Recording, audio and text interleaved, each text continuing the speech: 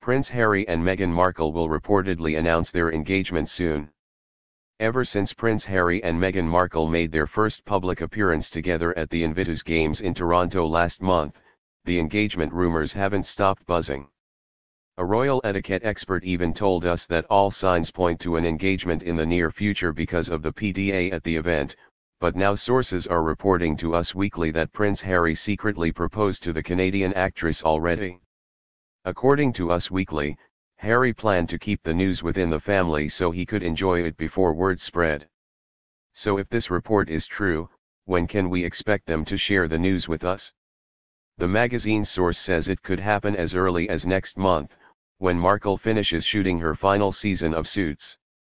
It'd be a security nightmare to do it sooner, this person explains. She'd be followed everywhere. This does check out, considering Markle wouldn't be able to walk around wearing an engagement ring without a media frenzy.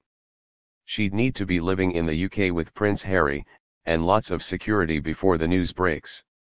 She'll relocate to London for sure, says the insider, who explains the couple is working on a detailed media rollout.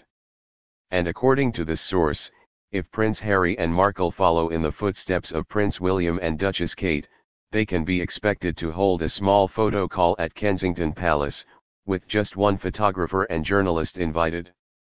On the same day, they'll do a TV interview that will be syndicated around the world.